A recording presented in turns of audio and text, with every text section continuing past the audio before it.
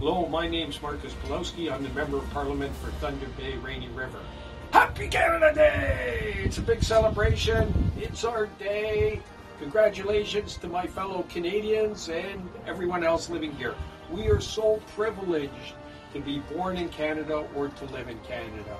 I've spent quite a few years living in other poor countries, and, and really, I know how lucky we are in Canada.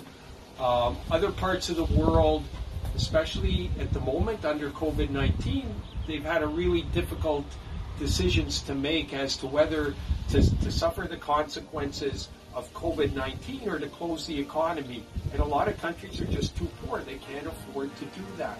So, this is yet another example of how fortunate we are as Canadians. So, this Canada Day, enjoy yourself, have a good time, don't drink too much and, and also maintain your social distance. If you're places where you have to be close to other people, you're inside in, in larger groups, then please, please wear a mask.